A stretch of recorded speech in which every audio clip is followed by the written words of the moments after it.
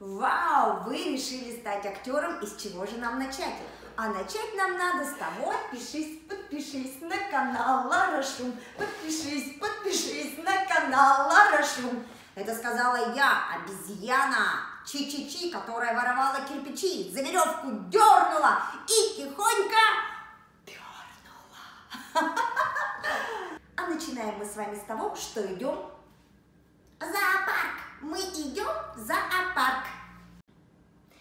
Да-да, мы идем с вами в зоопарк. Для чего? А, допустим, вас ждет персонаж оборотня. Значит, нам надо кого? А, уметь показывать волка. У-у-у.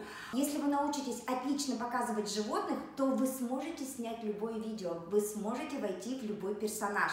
Потому что начало актерского мастерства как раз начинается с животных. При поступлении в любой театральный вуз вам нужно будет показать животное.